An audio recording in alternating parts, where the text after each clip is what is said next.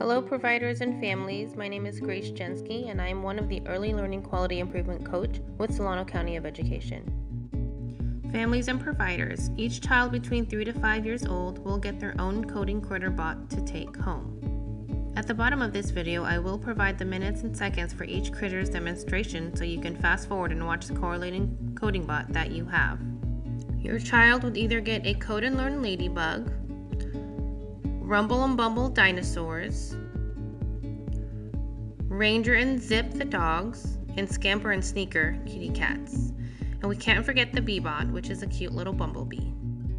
So the first things I want to show you that comes um, inside of the coding critter the box are these really cute coding storybooks.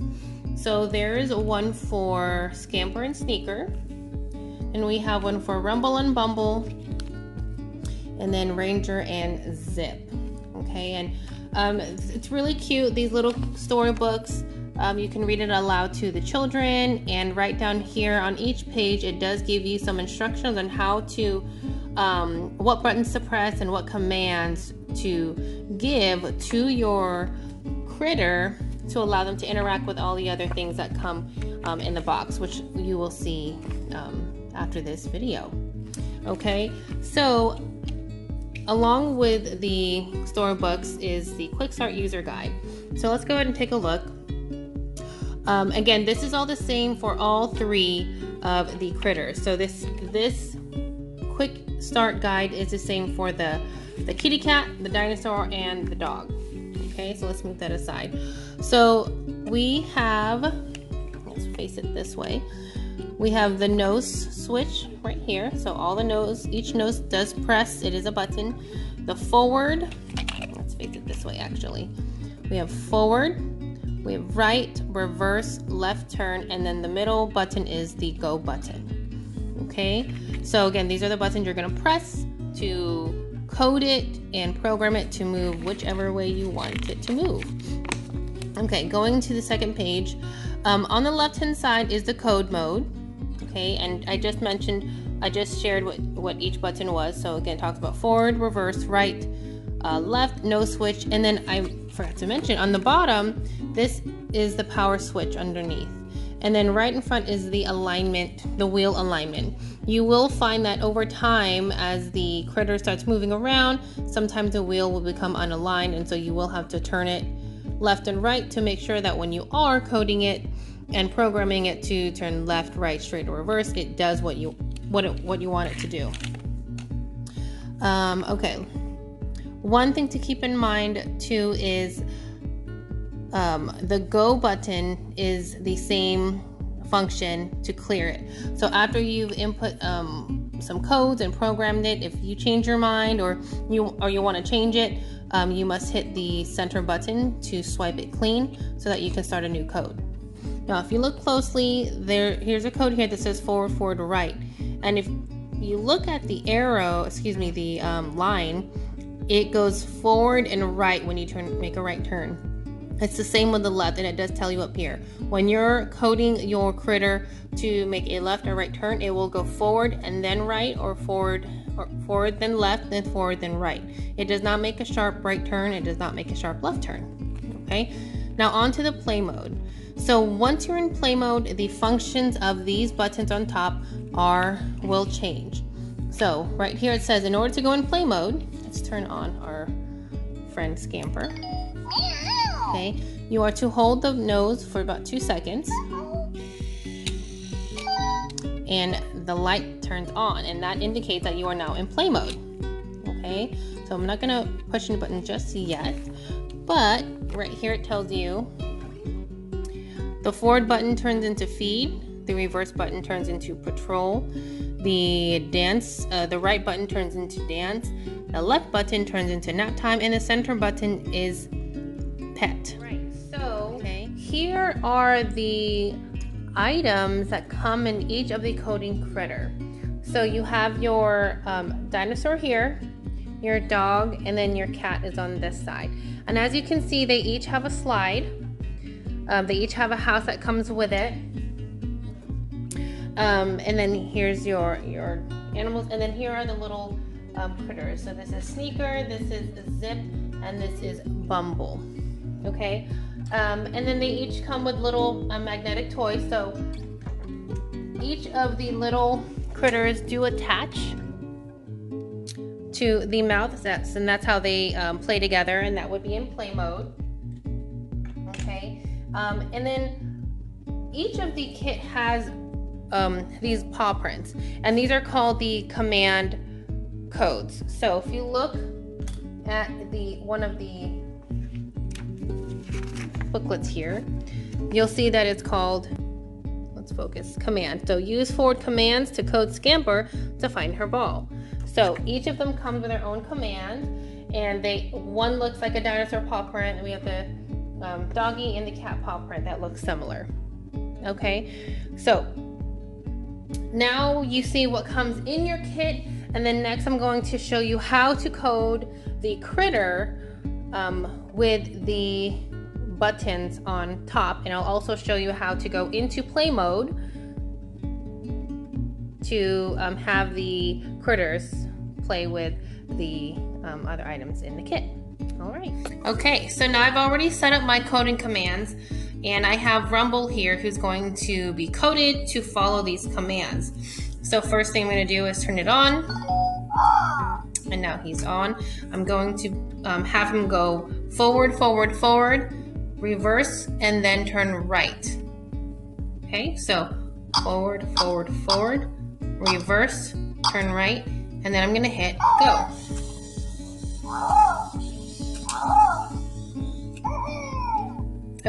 You can't see him, but there he is. He did the one, two, three, four, five step command.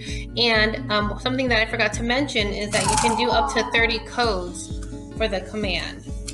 Okay, so let's uh, clear the code and uh, turn it off for the meantime. So that is how you can code, and it goes the same for all three of these critters.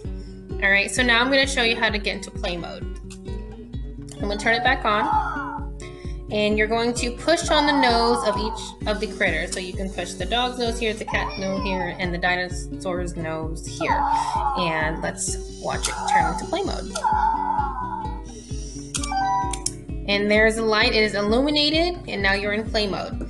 So as I mentioned before, the functions of the four buttons on top um, are now different. They do not go forward, reverse, left, or right. They all have something different. So to remind myself, I'm to go back into the quick start guide. I'm going to open it up. Let me get it to focus. And what do we want it to do? Let's just try all of them. We're going to have it feed, do a patrol, do a dance, uh, nap time, and then pet. Okay. Oops, come back here. And there we go. Let me get this to brighten up a bit. There we go. So let's see, this is to feed. You can hear it. Okay, and then we have patrol. Just checking out the area. We have a dance. Whoa, he's, he's dancing. He's going. Oh, he's being a rumble. Okay, let's get you back here, Rumble.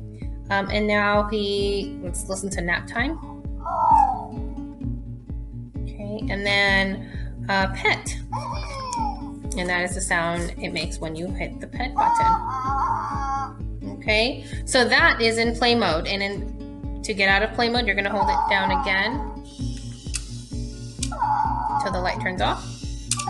And now you're um, no longer in play mode and now you're going to be um, coding you can now code it into um, other whoops directions okay rumble let's turn you off. The next coding bot that we have is the Bee-Bot and this is different than the coding critters that I showed earlier because this one is a rechargeable programmable floor robot so it does come with its own charger and it does have um, a small little user guide, just a couple pages. And this is what the Bee-Bot looks like as it when it comes out. Okay, so underneath you will find the chargeable socket, and right here they do it does have three power switches. So this one is for the on and off switch for the sound. This is the on and off switch for the sensor, and this is the on and off switch for the robot itself. Okay, all right, so let's take a look at the user guide. And right here, recharging your Bee-Bot.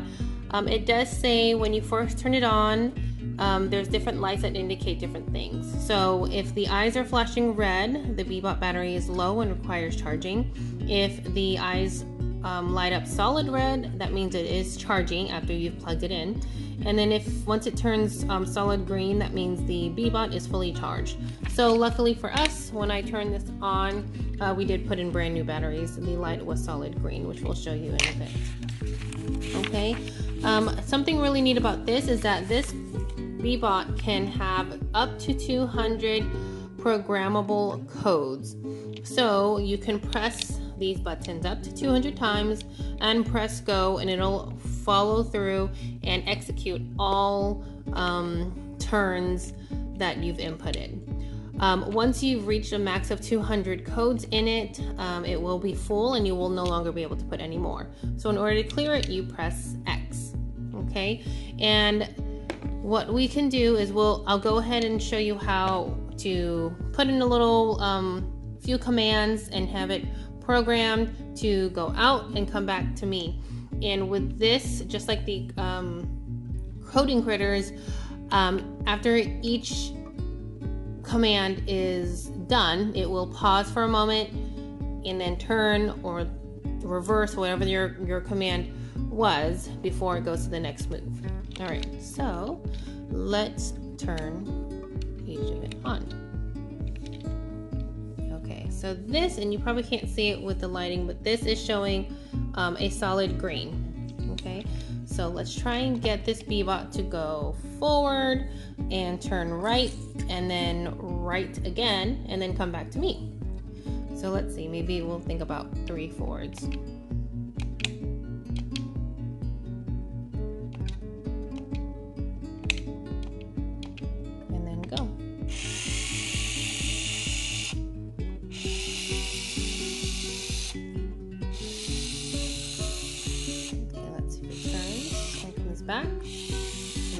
Two right turns and one, two, and three. And so it executed my commands that I've input. Now, if you want to reset and make a brand new code, you would have to press X and it'll swipe it clean. Um, if you do not hit X and you start pushing more buttons and then go, it will not start from your new, um, it'll start from the very, very first code you put in. So I had pressed it three times forward, right, right, and then three times again forward. That's going to execute its, uh, the movements plus the ones you've added on. So again, it goes up to 200, so it's going to go from the very beginning. If you don't want it to do that, it's important to press um, X to keep it, swipe it clean. Um, and the nice thing with this too is that you can actually add more um, Bee-Bots or bots to it if you'd like. Okay, and don't forget to turn it off when you are done and then charge it as needed. And that's that's pretty much it for this Bee-Bot. This is much simpler than the other two. It doesn't come with all the extra gadgets, but um, you can still program it however you like. So if you want to take a look again and see what else is inside, um, pretty easy read. Okay, and that is that for the Bee-Bot. So this is the last coding critter that um, will be given out to your child, and this is the Code and Learn Ladybug.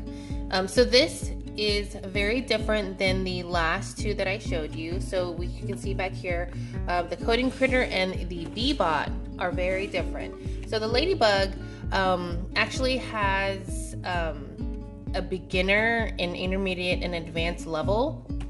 It does come with its own controller. It comes with a playmat and the um, bot itself.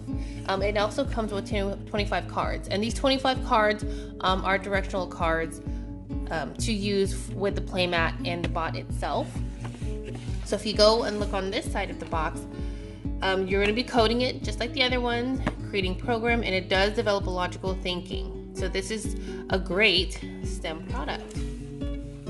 So when we go in the back, it does tell you that there are two play modes, um, and you can put up to 30 commands. It does have its remote control and auto shut off. And what that means is after 45 seconds of the um, robot and controller not being in use, it shuts off by itself. However, once you do move it, it turns back on. So although it's shut off, it's important to still um, flip the switch to the off button and it does have fun, sound effects. And then there's your 25 coding activity cards included. Um, i will be taking i will be um, making a video for you to show how you can use this um, ladybug okay?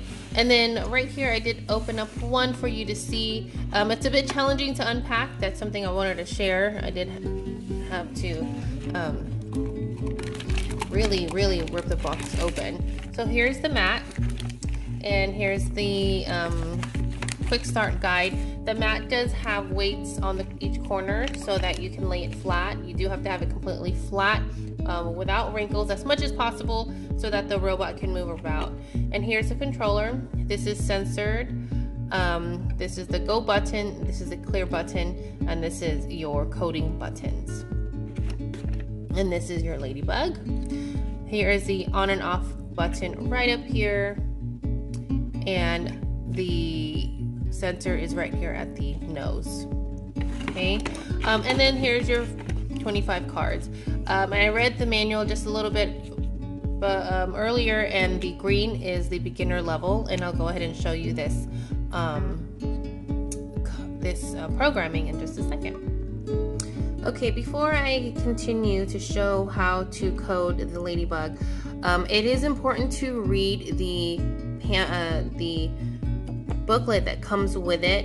Otherwise, it's not going to do what you want it to do and what it's made to do. So if you look here on page three, um, it says important information regarding your activity mat. It is important to have it as flat as possible. So you'll see with the mat that I have, it does have wrinkles right now because I just opened it. But try and get it um, flat as possible.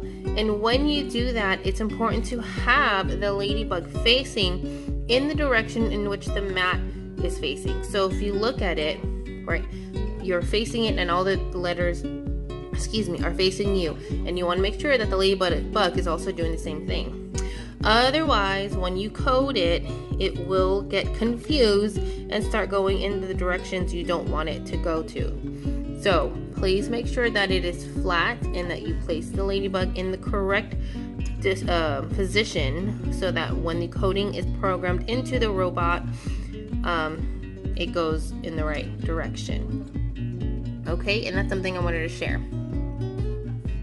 Okay, so we're gonna uh, do the beginning um, level cards. And so the first card we're going to pick is this one. So it says start, and then we're going to place the ladybug on blue 3, and then we're going to put program in these coding and press go.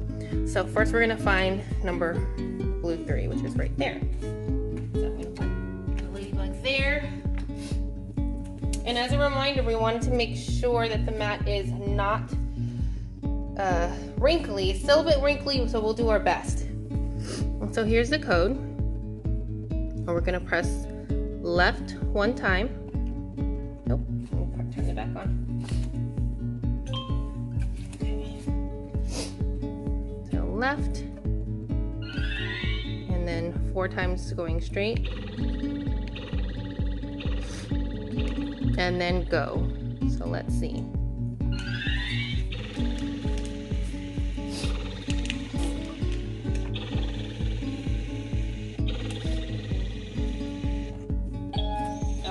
So you did see that it started veering off to the right, and that just means that the mat is um, wrinkly, so that's something we need to work on. So now I'm gonna have my daughter join in just a little bit, and I'm gonna have her do a certain code so that you can see that this is very kid friendly and that your children will enjoy it. One thing I forgot to mention is that to make to um, to check to see if you got the right um, if the ladybug landed on the right square, you turn it over and there's the answer and it says Y and you can check did the ladybug land on Y? And it, yes it would have if the mat wasn't wrinkled but it definitely did the right it was programmed correctly and um, made the right moves. Okay so Um, now I'm gonna have my daughter do a coding, kind of just um, freestyling it. She can pick a card if she needs to, but we're gonna have her um, code the program the ladybug to go on the letter P, which is right here. So she's gonna have to go up here and right. So she's gonna be coding that and figuring it out. All right, go ahead and code it. Okay. So what buttons are you gonna press? I have to um I have to press um um the Forward. straight I have to press forward two times, but then the ladybug will stop on that M. So I have to press this. What what which way? I that? have to press right once, Okay. but then um I'm gonna have to because it's just gonna turn a little bit. I'm gonna have to um, press straight two um, um the three times, and then press go so it will land on the white P. Okay, so just a second. Let me press the button again. As a reminder, if it the ladybug does not program or go to the letter or number that you're trying to have it go to, restart it by pressing the red button and then try flattening out the mat again. Okay, here she goes. Okay. Um. So I'm gonna, and then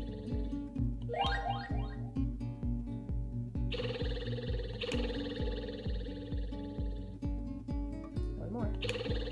and then go. Okay.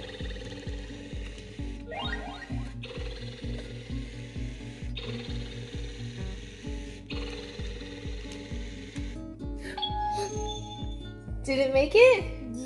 All right, so she did it. It programmed, and sorry for the blurriness and shakiness, but she made it. She programmed it from Y up to M over to P, and that was um, her coding. Very nice. On behalf of the Quality Counts Early Learning team, we encourage you to learn about the coding critter bots and enjoy them with your family. Thank you for watching.